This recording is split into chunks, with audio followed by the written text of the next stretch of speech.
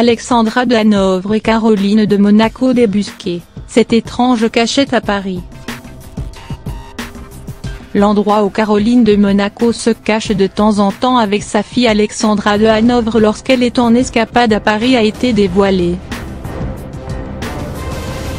Un endroit surprenant.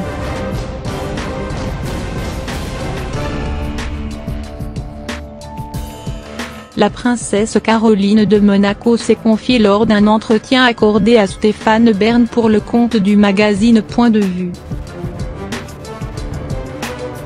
Pour l'occasion, elle a brisé le silence sur ses liens avec Karl Lagerfeld, l'ex-directeur de la maison Chanel, décédé le 19 février des suites d'un cancer du pancréas. Elle peine à préciser leurs liens tant ils étaient profonds.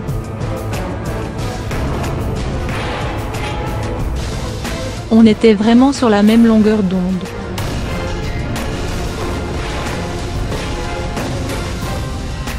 On avait le même humour.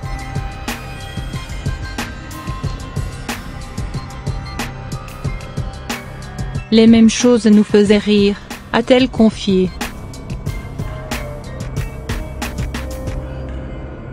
En 45 ans d'amitié, on avait fini par bien se connaître et développer nos petits codes. On s'éperonnait mutuellement aussi.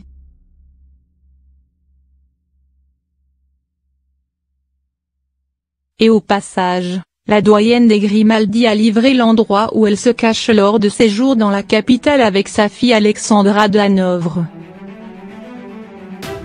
Il est toujours prêt à partir à l'improviste, dit-elle à propos du regretté styliste, se rappelant qu'il y a deux ans, alors qu'elle était avec sa fille cadette, au Café des Chats, un endroit perdu de la capitale. Rive lui a-t-il dit.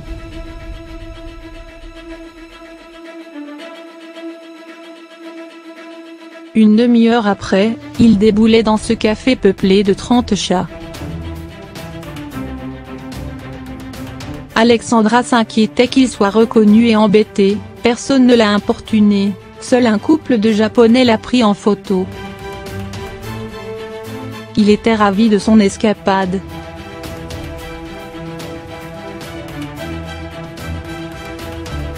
Il est toujours partant pour tout. C'est une merveilleuse façon d'envisager la vie.